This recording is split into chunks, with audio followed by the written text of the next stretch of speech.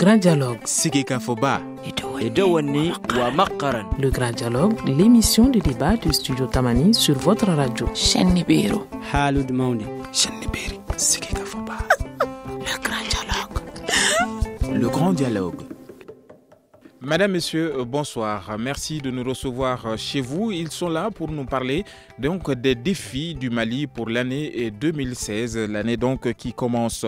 Nous sommes euh, au deuxième numéro du grand dialogue de l'année 2016. Nos invités, Ben Katra Maouloud, qui est certainement en route pour cette émission. Il est secrétaire général adjoint de l'Union nationale des travailleurs du Mali. Également avec nous, Al-Kaïdi Touré, député URD, député de l'opposition. Également professeur Kalilou Ouattara, député RPM de la majorité présidentielle. Moi je suis Famoussa Sidibé, Gagné Kanté est à la technique. Pour cette année 2016, les attentes sont nombreuses au Mali pour la sécurité. Les autorités maliennes tablent sur la loi de programmation militaire dont les principaux axes ont trait à la sécurisation du territoire, à la dotation, à l'amélioration des conditions de vie de la Grande Muette. Le second point concerne la paix et la réconciliation. Ibeka s'est engagé à prendre toutes les dispositions pour une mise en œuvre diligente et complète des engagements de l'accord. De leur côté, l'ensemble des mouvements armés donc du Nord estime qu'il faut plus d'engagement de la part du, gouvernement de Bamako en vue d'accélérer la mise en œuvre de l'accord. L'agriculture reste euh, la priorité des priorités pour le Mali et ses partenaires. Les deux euh, veulent à la fois maintenir la relance économique, mais surtout garantir la sécurité alimentaire durant cette année, cette nouvelle année. Ces trois secteurs sont loin d'être les seuls secteurs prioritaires pour les populations maliennes. Mais nous allons commencer par la sécurité. Alors, comment voyez-vous la sécurité, la lutte d'abord contre euh, le terrorisme en 2016 Al-Qaïdi Touré, député URD. Et merci beaucoup, Famoussa Sidibé. Et je profite de votre antenne pour souhaiter mes meilleurs voeux de bonne et heureuse année à l'ensemble des auditeurs de radio partenaires du Studio Tamani et à tous les personnels du Studio Tamani. Merci. Ceci dit, euh, la lutte contre le terrorisme. Bon, je crois que la lutte contre le terrorisme, ce n'est pas faire simplement du temps-temps, parce que ce n'est pas aussi facile que les gens le pensent. Lutter contre le terrorisme, c'est très difficile, même pour ceux qui ont les moyens les plus sophistiqués. Mais aujourd'hui, je crois que si on veut lutter contre le terrorisme, il faudrait d'abord que toutes les populations soient impliquées, parce que c'est de leur sécurité qu'il s'agit. Il faut qu'elles soient impliquées. Et il faut absolument développer les réseaux de renseignement. Quand vous dites les populations, vous parlez des populations civiles? Des populations civiles, parce que c'est de leur sécurité qu'il s'agit. Les populations civiles, il ne faudrait pas pour la cupidité qu'on mette en danger la vie de milliers de personnes. C'est ça le problème. Donc il faudrait que les services de renseignement aussi soient outillés. Parce qu'il ne faut pas faire le renseignement pour le renseignement. Il faudrait qu'ils soient outillés. Et que les, les, partenaires qui sont là nous donnent des renseignements et des renseignements fiables. Je crois qu'avec ça, on pourra circonscrire, mais dire qu'on va lutter, et, et, lutter et, et, efficacement et de manière durable contre le terrorisme, absolument, qu'il y a la conclusion, la conjugaison de tous les efforts de, tous, ceux qui sont, euh, assurent la sécurité, des populations pour lesquelles la sécurité est assurée, et de ceux qui sont venus nous aider pour que nous sortions de ce... Parce que la, le terrorisme s'est créé où? C'est créé par ces mêmes gens, ces mêmes occidentaux, c'est eux qui ont créé. Parce qu'il il y a terroristes là où ils veulent, il n'y a pas terroristes là où ils ne veulent pas. Là où ils veulent combattre un président pour le faire partir parce qu'il ne fait pas leur affaire, il n'y a pas de terrorisme là-bas. Il n'y a que terrorisme là où leurs intérêts sont, sont combattus. Merci euh, Al-Qaïdé Touré, député de l'opposition. Alors, professeur Kalilou Ouattara, euh, comment voyez-vous cette lutte contre le terrorisme en 2016 Donc, euh, Je remercie les studios Taban pour l'invitation et sur ces thèmes qui sont là. Je ne suis pas un spécialiste de sécurité, je suis un médecin. Mais ce que je voudrais dire, vraiment, il ne faut pas se créer des problèmes là où il n'y a pas de problème. C'est-à-dire? Le fait que nous, nous nous levons pour crier terrorisme, terrorisme, terrorisme, mm. moi je pense que vraiment ne nous attirons pas des foudres. De qui? De ces terroristes-là. Ne nous attirons pas des foudres. Donc Tout vous, le monde sait que nous n'avons pas, Hmm. nous n'avons pas les moyens, nous n'avons pas les moyens de notre politique il ne faut pas que les Occidentaux viennent nous mettre des idées dans la tête.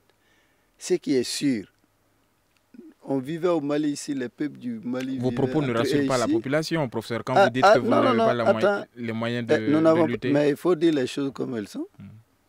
Les services de renseignement du Mali, est-ce qu'ils sont capables? Qui doit doter ce service de mais moyens Qui doit doter? Qui est là pour ça? Il y a un ministère de la Sécurité, ce n'est pas le ministre de la Santé, c'est le ministère de la Sécurité. Hmm. Donc, euh, c'est pour dire tout simplement que c'est un problème qu'on nous a amené et nous sommes tombés dans les pièges. Regardez en Europe, il y a du terrorisme en France, il y a du terrorisme, mais l'Italie, l'Italie ne se mêle pratiquement pas de ces problèmes-là. On a jamais Cela est dû à quoi selon vous? Ah, mais parce qu'ils sont indifférents de ça, ils ne se créent pas des problèmes, ils ne créent pas de problèmes chez eux pour s'attirer des terroristes. Et c'est cette politique que nous, on aurait dû faire depuis longtemps. Ne pas aller nous mettre eh, eh, devant des antennes pour dire que voilà des terroristes, alors que nous-mêmes, nous ne connaissons même pas les où sont les terroristes. Merci, professeur. je pense que ça, c'est un problème que nous-mêmes, nous sommes en train de chercher. Hmm. Vous pensez que nous le sommes des musulmans. Attends, nous, nous sommes des musulmans. Les terroristes, ce sont des, des, des musulmans. Vous estimez que ah. ces, auteurs... Mais ils se considèrent plus musulmans que toi.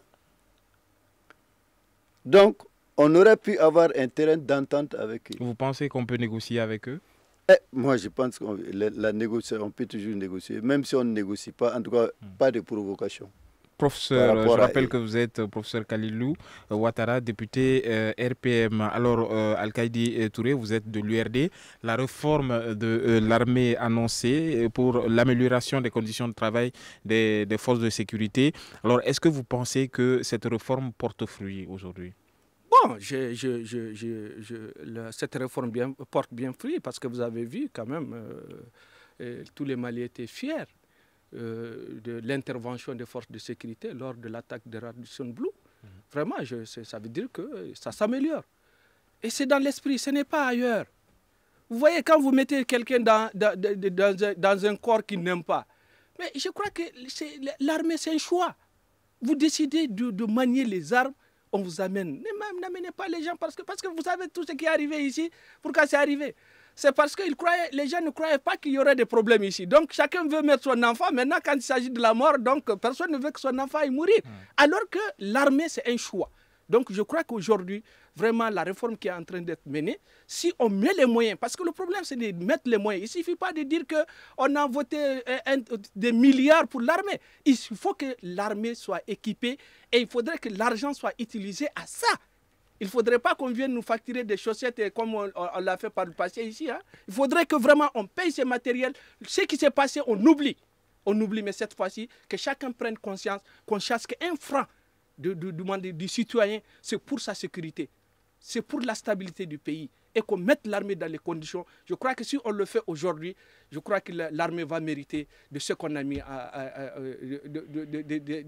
des, efforts, des efforts qui ont mm. été mis dans la réforme. Mais si ce n'est pas le cas, vraiment, mm. je crois que ce serait de, l'argent encore jeté par la fenêtre. Merci beaucoup, Al-Qaïdi. Je rappelle que vous êtes député URD de l'opposition. Alors, euh, professeur euh, Kalilou Ouattara, vous êtes du RPM. Euh, vous, vous l'avez entendu, l'opposition craint qu'il n'y ait de la corruption dans cette réforme annoncée dans l'armée dans aujourd'hui. Est-ce que vous pensez qu'il faut être attentif à ces risques de corruption?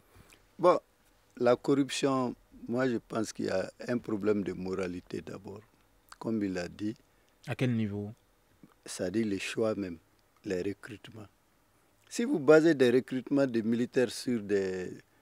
Euh, dans, en termes de compensation du chômage, on ne peut pas recruter les gens pour diminuer le chômage. Pour, si c'est ça, s'il n'y a pas la vocation, vous avez beau mettre des milliards, ça ne servira absolument à rien. Alors aujourd'hui, le mal étant fait, les, militaires étant, les soldats étant recrutés, qu'est-ce qu'il faut faire? Est-ce qu'il faut craindre une autre corruption euh, pour la réforme? Ah, bon, de toutes les manières, c'est, euh, on n'est pas de, le Mali, tout le monde sait que les problèmes de corruption au Mali, c'est à tous les niveaux. Hein. Ça, moi, en tant que même député RPM, je ne vais pas nier ça. Même si je n'en ai pas les preuves, mais de temps en temps, il y a des scandales qu'on entend. Non? Bon, or, on dit que dans tout mensonge, il y a une petite part de vérité. Donc, moi, mon souhait est que vraiment l'armée soit réformée. Il y a eu la loi de programmation militaire, que ce soit mis en œuvre correctement pour qu'au moins qu'on puisse au moins sécuriser notre territoire, sécuriser les populations. Et la paix, là, c'est au bout du fusil. Hein. Vous pensez qu'il faut faire la guerre pour avoir la paix? Non, non, non, il faut préparer la guerre pour avoir la paix. D'accord. Merci, merci euh, professeur. Je rappelle que vous êtes député, député RPM. Alors, Al-Qaïdi Touré, vous êtes de l'opposition. Euh, aujourd'hui, comment pensez-vous que l'armée puisse se redéployer euh, dans le Nord? Bon, votre troisième question m'intéresse un peu, la réforme et l'amélioration des conditions de travail des forces de sécurité, des forces de l'ordre et de sécurité. Mmh. Parce que moi, je vous dis, hein, c'est-à-dire tant que les forces de sécurité ne sont pas dotées de moyens adéquats, elles ne pourront pas faire leur travail. Je vous donne un exemple. Depuis qu'on a attaqué la, euh, Diré, on a enlevé le véhicule de la gendarmerie. On a enlevé le véhicule de la garde républicaine.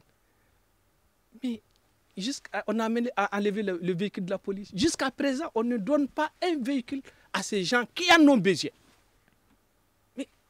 Quand ceux, qui sont appelés à assurer votre sécurité ne peuvent pas assurer leur propre sécurité par manque de moyens, que voulez-vous qu'ils fassent? C'est ça le problème. Donc moi, je suis entièrement d'accord. Moi, je te dis réorganiser l'armée.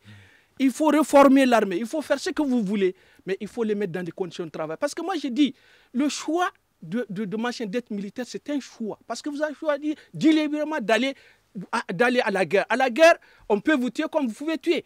Mais vous savez, le problème n'est pas d'aller à la guerre et de mourir. Parce que moi, je vous ai dit que dans les pays euh, développés, on crée même, il y a même des testaments, le testament militaire. Parce que le militaire sait que quand il va, il peut ne pas revenir. Mais l'après. Il faut que le militaire soit dans cette logique. Dans cette logique, un. Hmm. Ensuite, il faudrait l'après. Sa famille qui l'a laissé, il faudrait que certains soient capables d'assurer une vie à cette famille hmm. et une vie digne d'éducation de ses enfants. Voilà tous les problèmes qui se passent. Mais tous les jours, vous entendez que des gens qui sont, qui sont euh, euh, venus de, de, du, Nord, qui sont blessés ici, on fait sur des radios. Moi, je ne sais pas si c'est du mensonge ou pas. Mais puisque l'État n'intervient pas, pour moi, c'est vrai. Ils sont blessés, il faut des quêtes pour. Mais à quoi sert l'État alors? Si l'État ne peut pas soigner un, militaire qui est blessé au front, à coup de millions, à coup même de milliards, parce qu'il est, parti, il s'est blessé, il a mis sa vie en danger à cause de l'État. Hmm. Voilà les problèmes auxquels il faut penser, c'est-à-dire l'après. Quand ils ne sont pas là, quand ils sont blessés, qu'est-ce qui va advenir? C'est ça. Il faut les mettre dans les conditions. Donner les conditions aux gens qui sont euh, euh, en train de mourir pour la nation. Hein? Alors que d'autres sont là dans des bureaux fêtrés, là, ils, boivent leur, leur eau fraîche. certains sont en train de mourir au nord, on ne peut pas les mettre dans le minimum de conditions. Ceci est compris. Je rappelle que vous êtes euh, député URD euh, de l'opposition. Nous allons marquer une courte pause et nous nous retrouverons pour la suite de cette émission. Vous écoutez Studio Tamani Votre avis nous intéresse. Écrivez vos commentaires et suggestions sur la page Facebook et dialoguez avec nous. Studio Tamani, c'est aussi les réseaux sociaux. Studio Tamani, c'est également notre site web www.studiotamani en un seul mot.org. Aujourd'hui, le débat porte sur les défis du Mali pour l'année 2016. Et nous sommes avec deux députés, députés opposition et majorité, Al-Qaïdi Touré, euh, député de l'URD, et professeur Kalilou Ouattara, député RPM. Alors, euh, professeur, j'aimerais bien vous entendre sur les conditions, les voies et moyens pour le redoublement de l'armée euh, dans le Nord. Bon. Votre avis? Euh, Le redéploiement de l'armée dans le Nord.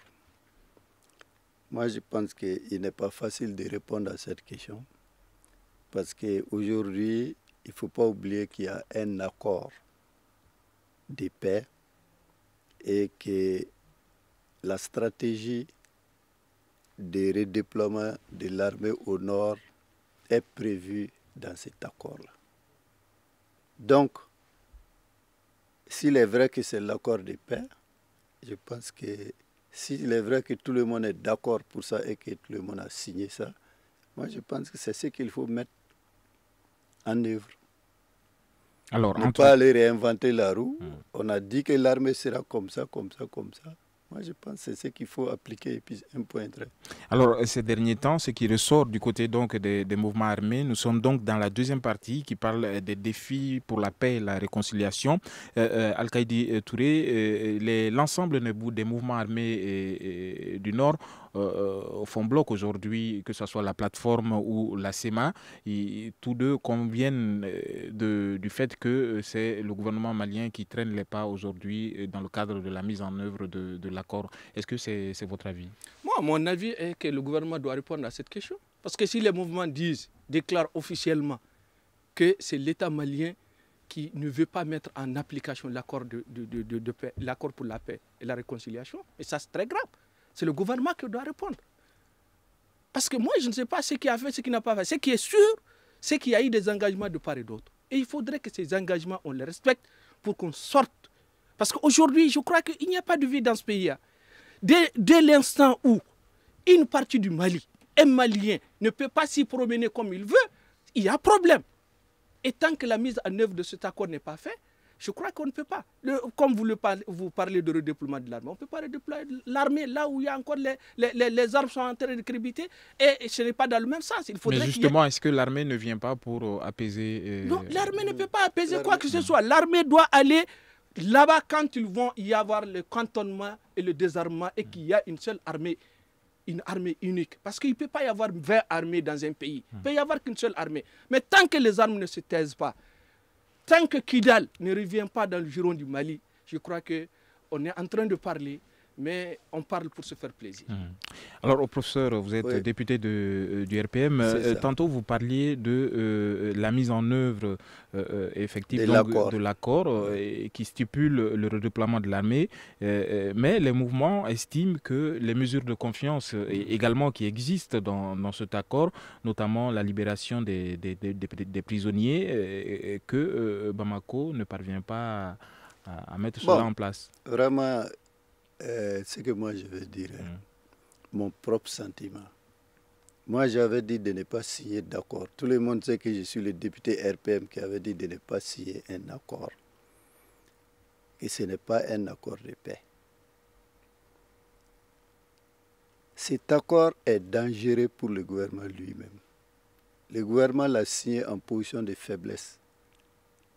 Et le gouvernement a laissé passer beaucoup de choses dans cet accord-là aujourd'hui. Quand vous dites en position de faiblesse, en position, eh, mais tu sais quand est-ce que pourquoi les accords avaient été, c'est quand le, Premier ministre était parti et que eh, eh, oh, c'est ça, c'est ça qui aboutit à ça. Moi, je pense qu'aujourd'hui, à partir du moment où vous avez signé, appliquez.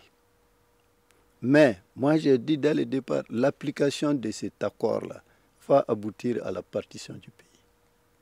En ce sens que En ce sens que les dispositions qui sont dans l'accord vont partager le Mali en deux. Quelles dispositions, par exemple? Bon, si on te dit, par exemple, que eh, dans l'accord, on va mettre en place des assemblées régionales dans les trois régions du Nord. C'est dans l'ensemble des régions. Ah, attends, attends, attends. Non, de Kayakida. Non, écoute, hmm. écoute. Kay, Kidal, Sigasso, on a dit conseil régional faut pas confondre vitesse et précipitation. Dans l'accord, on a dit eh, assemblée régionale. Mais le gouvernement, lui, dit conseil régional. Est-ce que c'est pas une... Non, non, non, attends, attends. On veut nous faire croire que c'est la même chose. C'est pas la même chose. C'est peut-être un problème d'interprétation. Ah, interprétation, mais, mais ce n'est pas la même chose pour moi en tout cas. Parce qu'il est dit que l'Assemblée régionale, le président de l'Assemblée régional sera chef de l'exécutif et des choses. Où est alors l'État malien? Ça, c'est dans l'ensemble des régions, professeur. Non, non, non, mais ça, c'est pour noyer les poissons. C'est-à-dire, ça, c'est pour noyer les poissons. C'est au nord que ça va se faire. Hmm. Les conseils régionaux, les conseils régionaux vont se faire au sud. Mais au nord, ce sera l'Assemblée régionale. Al-Qaïdi, peut-être euh, C'est en fait, C'est comme ça que moi j'interprète, ouais, hein. Le professeur a, a interprété en fait ce que le Ah ouais. professeur voulait dire. Mm, C'est qu'on dit qu'on va créer une zone de développement au nord. mm. C'est différent, mais pour le conseil régional. Spécifiquement au nord. Au, au nord. euh, euh, mais et, et- et sinon, le, le- le conseil régional, là, c'est dans toutes les régions dans du toutes Mali. les régions. Maintenant, le problème qui se pose, c'est qu'il dit partition parce qu'il y a eu accord. Dès l'instant que l'armée française a chassé les terroristes jusqu'à Gao et que l'armée malienne n'était pas autorisée à aller à Kidal, déjà il y a partition. Ah, voilà. Non, ça, c'est- déjà il y a partition, ça c'est pas un problème Voilà. d'accord. Déjà il y a partition. Mais le professeur oublie que c'est l'État malien là, c'est pas parce qu'il y a eu le problème de, de, de, de, de- de marins, c'est parce que tout simplement la, commission, la, co- la communauté internationale, c'est elle qui nous a mis dans un sac, on a attaché. Ils ouvrent une partie pour qu'on aide l'air quand elle veut, point à la ligne. Donc mais on les, les- les Occidentaux, Mais les, c'est eux les, les forces étrangères Mais avaient, c'est eux, mais avaient- eux, la ministre- avaient dit vous- que vous me- la visite n'était pas opportune. Mais Voilà. la, visite, la visite n'était pas opportune. Mais dès l'instant que c'est un président d'un autre pays qui va aller signer un accord de cessez-le-feu Hmm.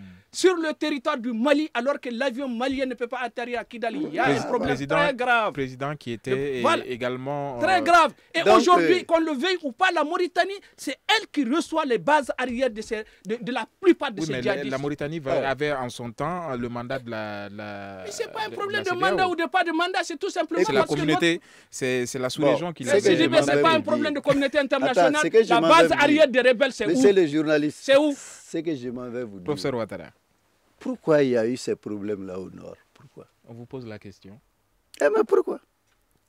Et pourquoi à un moment donné, certains fils du pays, c'est d'abord depuis les années 60, moins sûr de 1949, qu'il y a les problèmes au nord. Et la vraie raison du problème, personne ne veut toucher. La vraie, vraie raison du problème, c'est que une partie du nord ne, ne se sent pas redevable du gouvernement malien, qu'il considère du sud. C'est ça la vraie raison. Sinon, ce n'est pas un problème de développement. Alors On boit plus d'eau propre aujourd'hui à Gao, à Tombouctou qu'à Kenyeba et, et, et, des trucs comme ça. Ce n'est pas un problème de développement. C'est un problème, on ne veut pas. On ne veut pas de l'État malien. Alors nous Et allons même passer. l'insécurité dont on te parle là. Mm. Mais il n'y a pas d'insécurité. C'est quand l'État malien veut se manifester que l'insécurité vient. Alors nous Sinon, allons- les mouvements aujourd'hui, ils sont d'accord? SEMA et choses, ils sont d'accord aujourd'hui, non? Sur le dos de qui?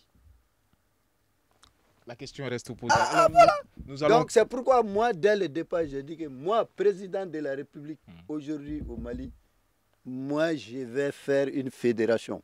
Quand les contradictions entre les peuples en arrivent à ce qu'on prenne les fusils, la seule manière, c'est de restructurer l'État central.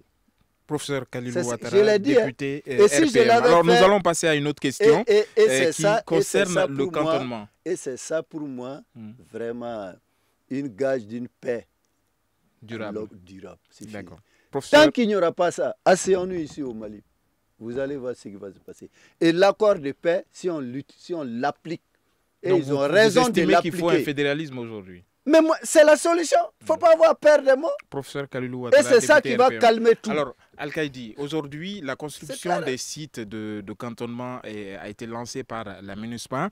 Euh, comment est-ce que vous voyez la suite de ces constructions? Bon, et permettez-moi d'intervenir sur ce que le doyen vient de dire. Hmm. Moi, bon, je ne partage pas son point de vue, ça ne veut pas dire que je ne suis pas d'accord avec lui. par exemple? Par exemple, quand il dit qu'il n'y a pas de problème de développement au Nord, il y a bien Hmm. un problème de développement au Nord- au Nord. Parce que tous les milliards dont on parle là, les milliards là ont été partagés ici à Bamako. Ah, Il faut qu'on soit la clair là. Ah, mais, alors, donc, n'en voulez pas. Aujourd'hui, on ne peut pas, au, au bénéfice d'une minorité, vouloir dire qu'on ne. rec- Non, moi je suis du Nord. Moi je me reconnais Eh, mais dans le gouvernement du Mali.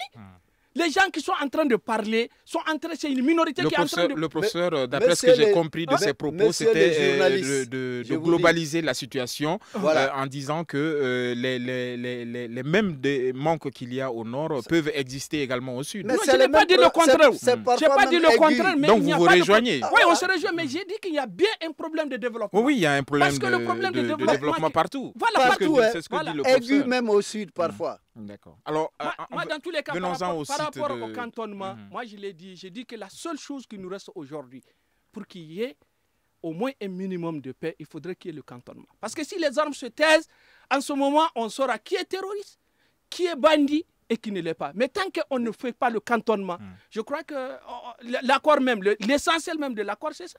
Bon, Voilà. S'agissant du cantonnement, RPM. Hmm. c'est-à-dire je ne suis pas du père. Peut-être que je ne parle pas au nom du RPM. Vous représentez Ce n'est pas l'État malien qui peut cantonner les, les, les, les, les- forces rebelles, c'est pas vrai. On ne peut pas.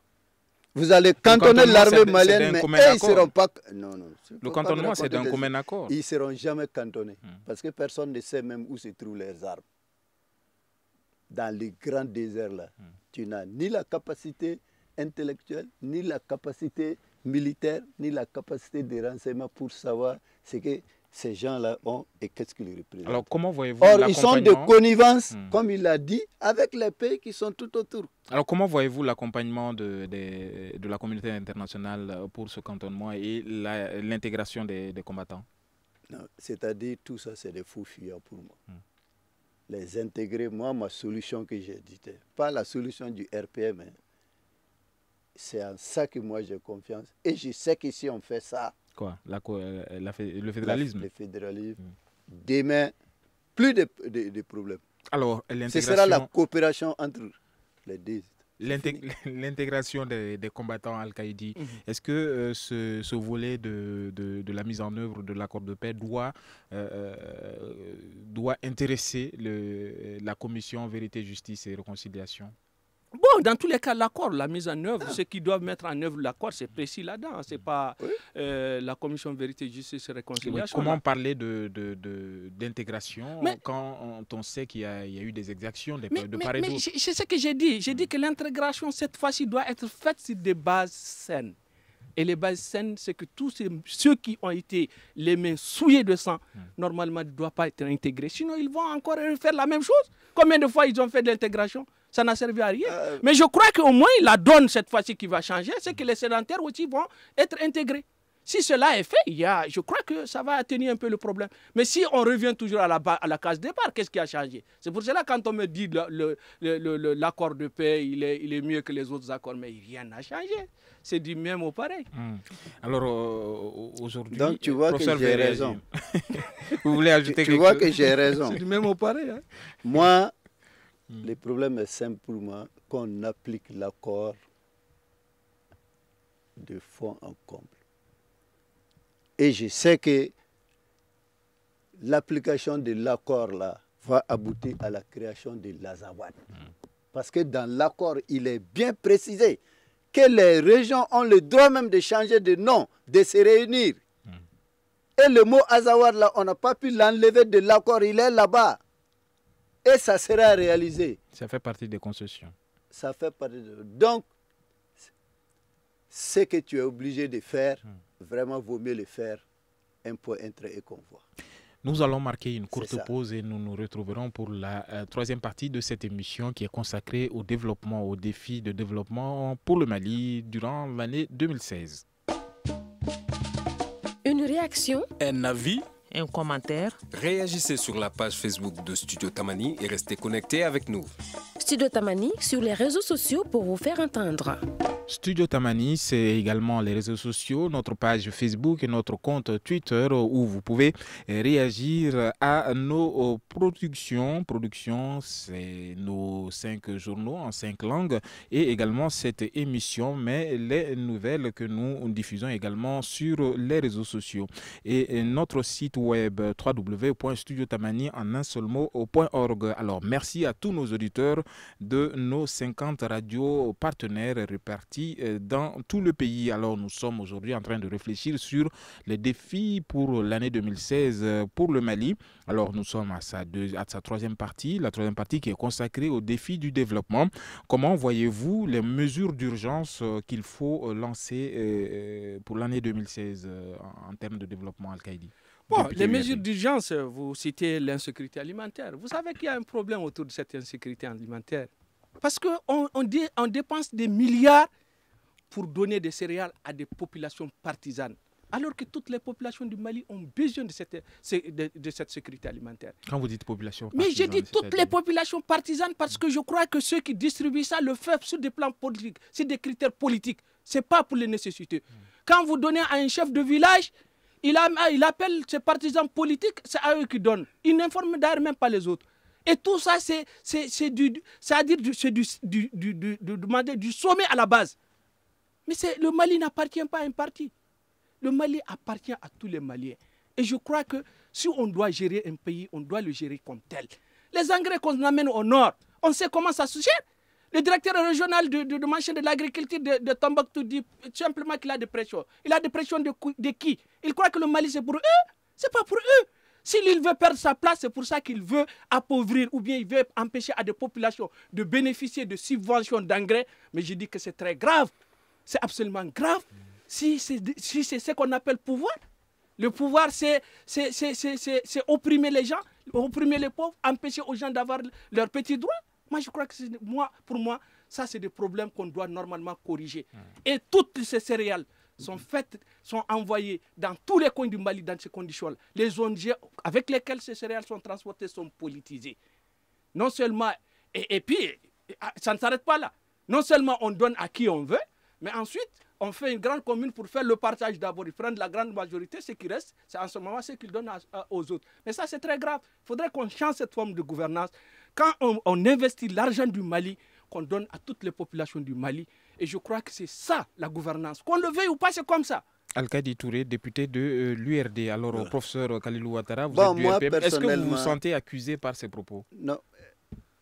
Je vais faire une mise au point. Hmm. Tout ce que Kalilou dit ici, hmm député RPM, je suis d'accord. Mais n'oublie pas que Kalilou est aussi le président du Forum des ressortissants et sympathisants du Sud. Et la complaisance, moi je ne veux pas de complaisance. Je ne suis pas un politicien, je suis un chirurgien. Et je pense que l'État malien m'a formé, j'ai travaillé, j'ai fait mes preuves. Et Dieu a fait que je suis devenu député. Je suis assis, je regarde. Alors, quand, quand Donc, je donne mon opinion. Allez-y mon opinion, c'est mon opinion que je donne. Pas nécessairement une opinion de la mouvance présidentielle hmm. ou bien une opinion du RPM, non. L'opinion de Ouattara en tant qu'individu, en tant que Malien et en tant que président du Forest. Moi, ça me fait honte hmm. qu'on vienne parler de, de sécurité alimentaire chez nous. 60 ans, on est indépendant, on n'arrive même pas à se nourrir. Ça fait honte. Et à la base de tout ça, c'est quoi? C'est la corruption. C'est la corruption qui mine tout. C'est la corruption politique, c'est la corruption, tout c'est ça. On ne voit même pas comment on peut faire ça. On ne voit même pas qui va mettre de l'ordre pour que ce soit bien fait. Et vous avez vu les, scandales qui sont là qui, hein? J'ai toujours dit non, dans tout mensonge, il y a une, part, de vérité. Est-ce que les objectifs de l'agriculture ont été atteints cette année. On va à la télévision, on maquille, on dit que c'est fait. Alors que tout le monde sait que c'est pas fait. Donc cette complaisance-là, même étant membre du RPM, moi je ne laisse pas passer ça. Je ne laisse pas passer ça. D'accord. Ceci est compris. Merci, euh, professeur. Je rappelle que vous êtes de, du RPM. Alors, euh, parlons un peu de, euh, de l'éducation. Al-Qaïdi, quelle doit être la priorité des autorités pour cette année en termes d'éducation? Moi, Il faudra absolument qu'on voit comment des stratégies à faire, par exemple, pour que les, les, les, les enfants au moins du Nord quittent dans cette situation. De cette situation. Ah, puissent reprendre les cours, quand même, qu'on trouve les solutions. Même s'il faut aller, et s'il ne peut pas euh, faire l'école à, à, Kidal. C'est d'ailleurs le thème de notre émission de demain. Voilà, qu'on les amène en tout cas ailleurs et qu'on crée, euh, mais l'État a les moyens quand même au moins de, de, de, créer des écoles et de, former les enfants. Hmm. Parce qu'ils ne vont pas rester là-bas par la faute, par notre faute, parce que c'est la faute à nous, les enfants, qu'est-ce qu'ils ont fait? Ils n'ont absolument rien fait. Il faudrait qu'on songe à ces enfants-là, à leur avenir. Et en ce moment, qu'on crée des conditions, qu'on essaie d'inventer quelque chose pour qu'on les amène au moins dans des endroits sécurisés et qu'on les scolarise. Alors, difficile aujourd'hui de vous opposer, URD euh, euh, et, RPM. Non, non. Euh, je vais dire mon opinion. Allez-y alors, allez-y, professeur. ce que les Maliens n'ont pas compris, hmm. ça fait déjà belle lurette. L'État malien se désengage de tout. Se désengage même parfois de ses activités régaliennes.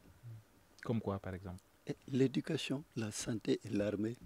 Comment vous pouvez comprendre que nous, notre armée, soit descendue si bas? Comment vous pouvez comprendre que le niveau de l'éducation chez nous aujourd'hui ait été vraiment saborné à tel Et regardez la santé. 60 ans, nous sommes indépendants. Comment expliquer ça? Moi, je suis un produit de l'école malienne. En notre temps, c'était les syllabaires. Mamadou et Bineta sont devenus grands. Chaque parent était capable d'évaluer, de situer son enfant. Pourquoi cette débandade-là est, est arrivée aujourd'hui? La cause. Mais la cause, je ne sais pas. Comment c'est arrivé? Parce que l'État s'est désengagé. L'État ne joue plus son rôle. C'est la privatisation de tout. Des industries que le président Modibo avait fait ici. Et regardez Uikoma, qui était la fierté du Mali. Itema également. Uikoma, Itema, Itema, Air. France. Hmm. J'ai dit Air France, Air Air, Mali. Mali. Hmm. Hein? Comment est-ce que l'embryon d'industrialisation de ces battes, la Chine nous avait donné Quand le président Ibeka est parti en Chine, tout le monde tape. J'ai dit, mais nous, on a déjà vu ça. La Chine avait tout fait pour nous ici. Nous n'avons pas pu suivre. Nous avons tout détruit. Comment est-ce que Ce l'État... n'est pas Alpha qui, qui, qui s'est levé une fois aller brûler des armes pour dire que c'est- quoi? Alors, pour parler de, euh, de, de cette euh, question de désengagement de, de l'État, Al-Qaïdi, comment voyez-vous le désengagement de l'État dans un secteur comme l'éducation? Moi, je crois que ce n'est pas l'État seulement qui s'est désengagé, c'est tout le monde qui s'est désengagé. Parce que tout s'achète. Ah, Moi, je me demande comment est-ce qu'on peut, on peut, on peut acheter un diplôme à donner à quelqu'un qui n'a aucune qualification et vous lui dites d'aller chercher quoi? Des, gens qui ils ne peuvent pas faire un verbe, un sujet, un complément. Vous voulez que ces gens-là viennent. Mais donc c'est l'État. Ce n'est pas l'État seulement qui s'est désengagé. C'est même la Mais famille, la alors. famille s'est désengagée. Voilà, c'est la famille c'est s'est désengagée. Et et- je crois que puisque tout s'achète, je crois qu'en ce moment, on ne peut vivre que cette situation comme Et, telle. et ce que je vais Merci, ajouter à Al-Qaïdi. ça qui est grave, Professeur. regardez tous les jours, on vote des milliards, on va donner du travail aux jeunes, on va faire ça, on va faire ça. Moi-même, je suis... Comment tu peux faire? Et À peu près 70% des jeunes qui sont des économistes, où est-ce que tu vas les utiliser? 30% sont des juristes, où est-ce que tu vas les économiser? Alors que tout le monde sait au Mali que 90% des maçons sont illettrés. 90% des plombiers sont illettrés. Même les électriciens où il faut un peu de tête, Les métiers d'avenir. 87% sont illettrés. Et même carrelage là, 90% sont des illettrés. Et malheureusement, ces ouvriers qualifiés là On les ne sont même ailleurs. pas des Maliens. Ce sont les étrangers qui font ça chez nous. Et nous sommes là. Ça ne va pas. Tout le système, ça ne va pas. Comment y remédier alors? Et revenir à la case de départ. C'est quoi? École primaire avec les syllabaires Mamadou et sont devenus grands. Aujourd'hui, comment prendre le taureau par les cornes? Eh, mais c'est ça qu'il faut. Tu me nommes ministre de, l'é- de- de l'éducation aujourd'hui. vous- ouais.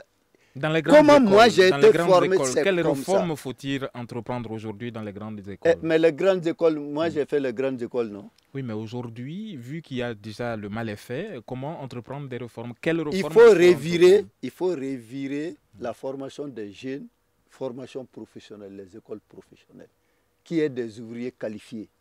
C'est ça qu'il manque. Tout Alors- le monde veut aller porter une cravate et s'asseoir dans un bureau. Alors, toujours Avoir dans un- le ça, ça domaine... peut pas aller. Merci, professeur. Toujours dans le domaine de l'éducation, euh, l'enseignement supérieur, euh, euh, les, les cours ont repris, mais les, les, les enseignants, les professeurs euh, menacent d'aller en grève. Vraiment, moi, je vais parler en première position. Mais non, écoutez, Non, écoutez, comment vous pouvez comprendre Mm. que on va recruter des assistants, des enseignants à la faculté de médecine. Mm. Le doyen de la faculté ne sait même pas. Comment ils sont Il recrutés n'est pas impliqué là-dedans. Les, les, les, les- les- les recteurs n'est pas impliqué, le ministre, le- il va c'est quoi ça? On est où? Mais ça ne va pas. Et c'est des enseignants, hein. on ne demande même pas l'avis du corps professoral de, de la faculté de médecine. Et tout le monde est assis, on voit le ministre en train de, de, de gérer. D'énumérer. Non, de gérer une- eh, eh, eh, eh, un concours de recrutement d'assistants. C'est quoi ça? Où on, où, on, où on va? Mais vous, en tant que député de la majorité, comment est-ce que vous, vous, vous voyez ce... Mais Et dans la, la comment il faut lutter Eh, contre ça? Il est là, la majorité n'est pas eh, eh, homogène comme tu le penses. Ah bon? Mais lui, là, Vous, il vous est- nous l'apprenez La majorité, Hmm. moi j'ai dit, les RPM, c'est- un parti de masse où il y a des courants. Mais on a vu à- à- à- en France des députés qui n'ont pas voté certaines lois de, de Valls parce que ces lois étaient plus, plus libérales. Hmm. Donc il faut que ce débat-là soit accepté aussi au sein du RPM. du RPM. Si Ouattara se lève pour dire que c'est comme ça, on doit accepter. Ouattara ne dit pas qu'il a raison. Mais quand même, il y a des choses qui sont là, ça ne va pas. On Bon. ne peut pas suivre. Alors pourquoi ne pas inter- Le RPM interpeller le, le ministre par rapport à ce genre de questions? Eh, mais on va les- bon, moi, je ne suis pas de la commission éducation. Hmm. Et, et demander à la présidente de la commission éducation, je lui ai amené un papier, je l'ai donné. D'accord. J'ai dit que ce qui se passe là, ça ne va pas. Où on part? Alors, Al-Qaïdi, Oui. Bon, moi, sur moi, cette moi- question moi, des- tu sais, des- vous savez, M. Sidibé, quand il s'agit de droit, moi je suis juriste. Je suis pour qu'on paye des droits. Mais je suis pour que les gens aient aussi un peu de bon sens. Parce que les enfants aussi, il ne faut pas les prendre en otage. les grèves Pour la, voilà. Mais dans tous les cas, pour la, la faute de l'État, si c'est des droits, il faudra absolument qu'on paye les droits. Et je vais vous le dire, ce n'est pas, c'est pas parce qu'il donne ses opinions, ce n'est pas parce que souvent on est d'accord. Non, mais Kalilou, exactement, c'est ce que je pense. Parce qu'un député, il faudrait que les gens comprennent que le député représente le peuple. Et le député n'est pas obligé de suivre ce que le gouvernement veut. Le gouvernement est dans son rôle. Et les députés doivent être dans leur Dans rôle. Mais malheureusement, nous ne sommes pas dans nos rôles parce que ce qui nous se passe à l'Assemblée nationale, et c'est no comment, comme le disent les Anglais. Vous voyez, donc je suis entièrement d'accord avec euh, tout ce qu'il a, il a dit, mais j'ai dit pour les professeurs, si c'est des droits, on leur paye leurs droits, mais eux aussi, souvent, il faut qu'ils voient et qu'ils sachent à quel moment il faut aller en grève. Les défis dans le secteur de la santé, selon vous, les priorités, c'est quoi, professeur Kalilou? Les priorités dans la santé doivent être l'amélioration du taux de mortalité. Est-ce que vous savez qu'au Mali, pour 100 000 enfants qui naissent vivants, on va au cimetière 264 fois. 264 morts maternelles. Améliorer la prise en charge de la grossesse et de l'accouchement pour diminuer la mortalité maternelle. Dans le milieu C'est ça. pardon, urbain ou bien euh, Mais dans le pas milieu rural? milieu urbain ou milieu, c'est c'est la même chose. Le taux que je vous donne là, c'est ce taux pour le pays. C'est catastrophique. Et là aussi, l'État s'est désengagé. On vous dit à créer des CSCOM. On crée des CSCOM, ça veut dire quoi? Réunissez-vous vous-même, créez une association et créez un centre de santé pour prendre vous-même. Mais où est l'aide de l'État? Quand on demande à l'État de médicaliser ces centres-là, comment tu peux aller mettre un aide-soignant à Kajolo là-bas ou bien un, un- un truc dans un CSCOM que c'est lui qui gère ça Alors que c'est à la base, c'est c'est la base de la pyramide sanitaire. Hmm. Désolé, juste un Mais mot- si- un mot avant, avant de finir, parce que j'ai dit la santé, je suis d'accord avec, euh, avec ce qu'il vient de dire, euh, euh, mais simplement je voudrais réagir, parce que les CESCOM, les CESCOM, tout le monde est là ici à Bamako. D'abord, euh, la, la santé aujourd'hui, c'est une industrie de commerce. Vous payez carrément votre santé. hein. Vous payez votre santé. Et tous les gens, qui, tous les spécialistes sont ici à Bamako. Personne ne veut aller à l'extérieur et, et- à- à- pour À des raisons à l'intérieur, mais ça ne va pas. Comment est-ce qu'on peut, on peut, on peut s'occuper d'un peuple dans ces conditions-là? Personne ne peut être mité. Ça veut dire que quand il dit que l'État s'est désengagé, je suis absolument d'accord avec quand L'horloge dit- affiche 59, c'est la fin de cette Ah bon, émission. sinon- Merci beaucoup, professeur. Sinon, moi j'avais dit, Merci. quand un médecin travaille Merci à vous deux. ici, Merci à vous deux pour vos éclairages euh, URD et, et RPM. Qui était représenté par Al-Qaïdi Touré, opposition, et le professeur Kalilou Ouattara du RPM. Moi, je suis Famoussa Sidibé, Kanté était à la technique, Seydumbo à la régie vidéo, Ayoubasso a réalisé cette émission. Nous vous donnons rendez-vous pour demain, demain dont l'émission sera consacrée à la réouverture donc des classes pour les régions du Nord. Alors, nous vous disons bonsoir et l'émission d'aujourd'hui était consacrée aux défis pour dans l'année 2016 du Mali. Merci à vous, bonsoir et à demain.